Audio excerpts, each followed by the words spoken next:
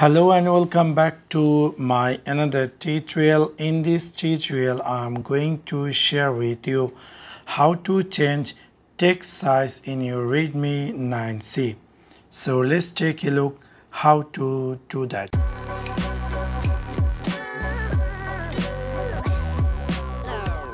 You might be recently buy this redmi 9c and you are wondering how to change text size Maybe somehow some cases your phone text size is too small or too large. So you might be want to make the default text size.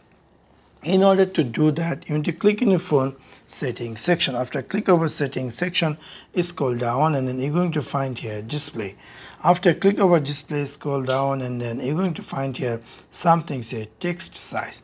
After click over text size, you're going to see skin appear just like this. From here, now my phone uh, text size is too large, which is double XL. If you would like to uh, make the text size is large or the default, which is the small one, you can easily go with that. So it in this way, you can easily change text size in your Redmi 9C so that's for now. Thanks for watching my video. See you next one. Peace